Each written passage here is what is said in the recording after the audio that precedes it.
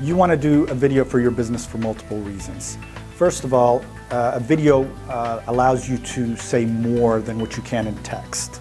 If a picture is worth a thousand words, then video is worth a million words.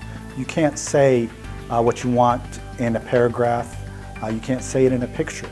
And video allows you to connect with your uh, customers and they know you on a personal level. Uh, you're not now this either corporate store or this uh, business that doesn't have a face behind it. Uh, in addition to connecting with customers, you're able to rank videos on Google, on YouTube to get you more exposure. And by getting more exposure, it's sort of like getting it to the masses, but it's getting it to people that are really searching for your type of business. Uh, and in doing that, uh, you distinguish yourself differently than your competitors, where most of them won't have the video. So now, once you get on that first page, you look uh, unique compared to other businesses.